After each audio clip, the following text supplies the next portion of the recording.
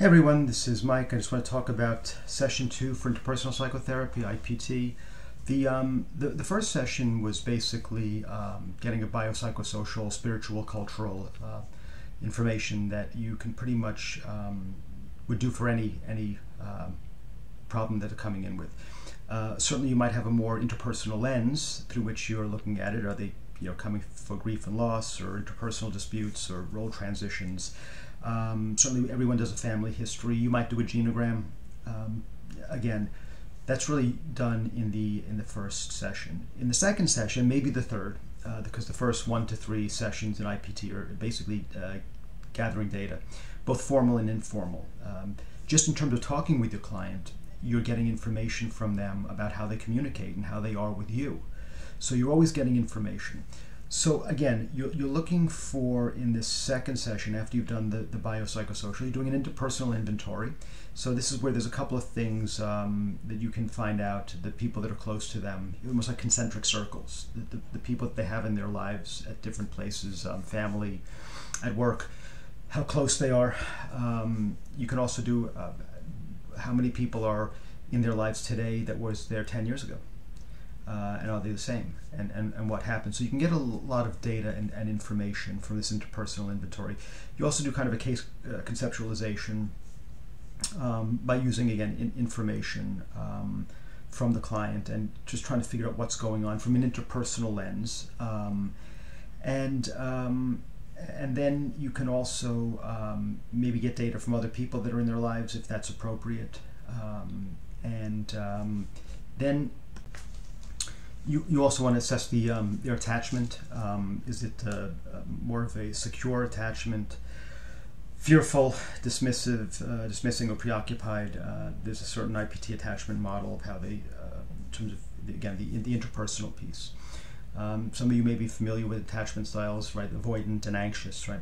Um, so this is a, an IPT version of that. All of this is gathering data, and you do case conceptualization to just get a, a clinical picture of what's going on. Um, then you also do uh, an, an, IPT summary, which is almost you're talking to the client and getting their understanding of what they want. It's almost the the client's version of the case conceptualization. It's more of an interpersonal um, uh, discussion with the, with the client. So you're getting their case sum the, the summary of what what's going on from their perspective. Um, you also will do a uh, a, a, a, rationale um, for for the uh, IPT model. Again, this is where you just talk about I IPT and that it, it, it addresses interpersonal problems and it's validated empirically and what the goals are. And it's more of a strengths-based treatment. Again, you ask clients what their strengths are uh, as well, and that it usually has a time-limited uh, nature to it. So you just uh, uh, mention again the rationale for using IPT for their problems, and then you ask them what what are they here for? Is it grief and loss, right? Is it transitions? Um, so you find out uh, what exactly they want, what area of interpersonal um, challenges they're they're looking for, um, and then finally you have the agreement. Is it short term? Um, you know, certain number of sessions. Do you come every week? Do you separate them by a few weeks. So you're just getting, again, gathering information, what they're here for, that again, it's interpersonal nature, is it for grief and loss, interpersonal disputes, role transitions. I know they used to do skills deficits in IPT. I actually like that. They were like four sections and they've, they've kind of made them, made them three. Um, that it's more active directive, it's more uh, collaborative, it's not the, the, um, the therapist is the expert, it's you're working together, but there is a time limit to this, and there is that this provides some motivation. So again, in IPT, the first three sessions are really uh, data and information gathering, formal and informal. Before you jump in in the in the next in the, in the third or fourth session, uh, which is the uh, middle session, and what you actually do uh, prior to termination, and that's the heart of the matter. But you do need this beginning session, this beginning part, to get to learn about the client because you're not going to have three years to slowly get to know the client and talk about their past endlessly you need you need some information in the real world in the here and now seeing what's going on having your case conceptualization having your clients understanding of themselves understanding what's going on what are their strengths what are they here for what are they hoping for what are the goals of ipt um, and then with all that information you're better better able to use the middle phase and the, the strategies and the tactics and the techniques to help the client achieve the goals they want to achieve.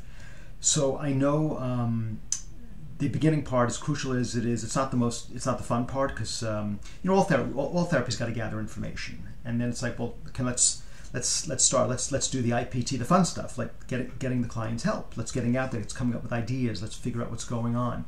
But this is um, this is a crucial part, and fortunately, it only takes one, two, maybe three sessions usually, um, and then you can actually say, okay, now we're going to take this information and we're going to use it to help you, to help you achieve the goals and the things that you want in your life. And of course, for therapists, that's that's the exciting part. You know, we, we like to see that, um, and certainly the clients do as well. So you can find a lot of this, by the way. The books, there's a lot of books on IPT because the original book, but then there's also the IPT Institute, um, where they have a lot of resources and a lot of training um, so again, you can look things online. Just make sure it's it's legit. You know, you want to get it. Um, and you can also ask people that you know that, that train in this area for their suggestions or thoughts or ideas. Um, and so this is the IPT session two slash three. And the next session we will uh, focus on the middle phase or the actual using the once now that we've got this information, what are we going to do with it to help the client? All right, and I'll see you next time. Bye.